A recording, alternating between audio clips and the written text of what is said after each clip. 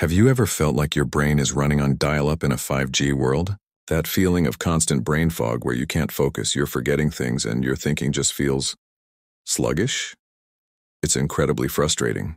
What if I told you there's a built-in cleanup crew in your brain, and you can activate it just by changing when you eat? It sounds like sci-fi, but it's a real biological process called autophagy. So let's break this down. Think of your brain cells like tiny, bustling cities.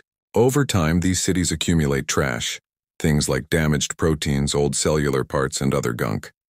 If this junk isn't cleared out, it clogs up the whole system. It slows down communication between your brain cells, creates inflammation, and can eventually lead to serious neurodegenerative diseases.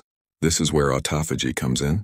The word literally means self-eating, which sounds a bit intense, but it's your body's brilliant way of recycling. During autophagy, your cells identify this junk, gobble it up, and break it down into raw materials that can be used to repair things or build new, healthy components. It's the ultimate deep clean for your brain. So how do we flip the on switch for this amazing process?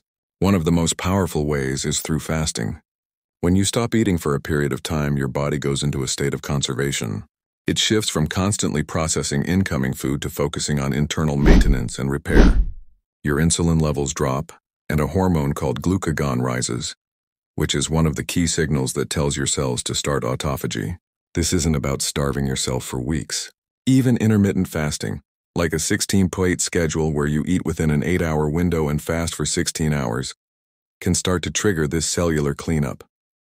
The longer the fast, generally, the more robust the autophagy. For many people, this is where the magic happens. As the brain starts clearing out all that metabolic junk, they report a dramatic lift in brain fog, Suddenly, they experience heightened mental clarity. Their focus sharpens, memory improves, and that feeling of being mentally stuck just melts away. Beyond just feeling sharper day to day, this process of brain autophagy is a powerful form of neuroprotection.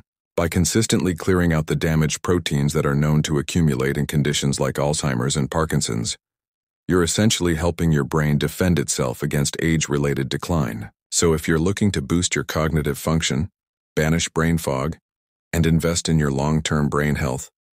Exploring the world of fasting to activate autophagy might just be one of the most powerful tools you have. It's not just a diet.